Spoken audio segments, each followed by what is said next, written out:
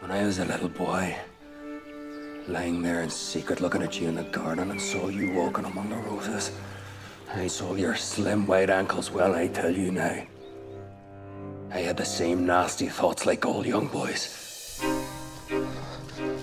All her friends are celebrating midsummer together. Big event. She's elegant, Miss Julie. Oh, her waist. Her neck. Stop it.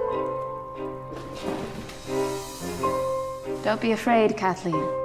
I won't run away with your fiance. Frankly speaking, but not wishing to offend, I'm at your service. Get me something to drink.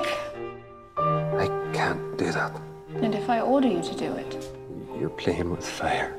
Now kiss my shoe.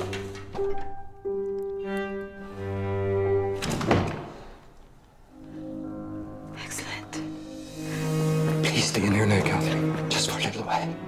There are things I can't control now. I can't control her. Ah, what have you been doing? Do you think that I'm in love with a valet? What an imagination. Perhaps there isn't quite as much difference as they think between human beings and human beings. A servant is a servant. But a whore is a whore! Don't speak harshly to me. Now you know what it feels like. I hate you. Run away with me then.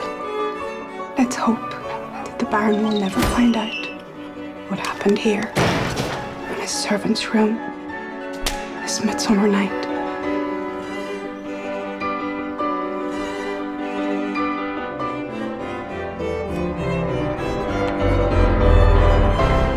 You cannot imagine how different I wanted my life to be. Delightful.